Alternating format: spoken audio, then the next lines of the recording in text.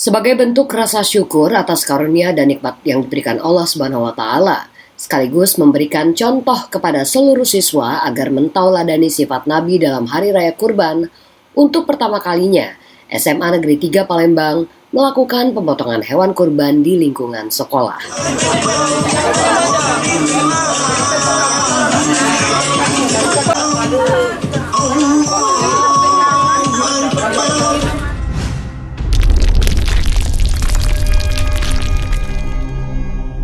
Perayaan Hari Raya Kurban Idul Adha 1444 Hijriah tahun 2023, Sekolah Menengah Atas Negeri 3 Kota Palembang menggelar pemotongan hewan berupa dua ekor sapi.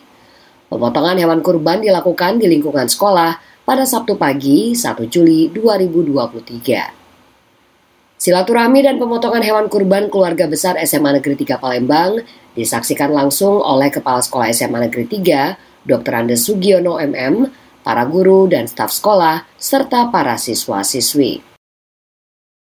Karena ini pertama kalinya kegiatan pemotongan hewan kurban di sekolah, banyak siswa dan siswi yang merasa senang saat hewan datang di antar mobil. Bahkan banyak yang mengabadikan video atau foto melalui handphone. Kepala Sekolah SMA Negeri 3 Palembang menjelaskan, tahun ini ada dua ekor sapi yang ditujukan masing-masing untuk seluruh siswa didik di sekolah dan satu ekor lagi ditujukan untuk seluruh dewan guru di sekolah. Dengan berkurban diharapkan nantinya memberikan pelajaran kepada siswa agar memiliki kepedulian sosial, kepekaan sosial, dan bisa berkontribusi kepada masyarakat. Dan ini memberikan uh, pembelajaran tentunya bagi siswa kami.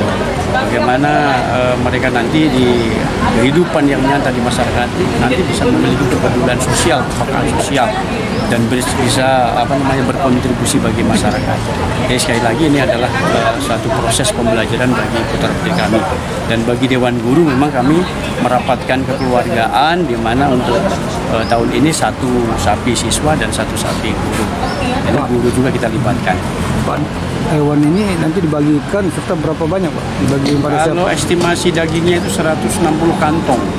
160 kantong ini untuk dua sapi ini dan uh, kita uh, pembinaan lingkungan ya. Bina lingkungan ini tentunya masyarakat yang kurang mampu di sekitar SMA Negeri 3 Palembang ini.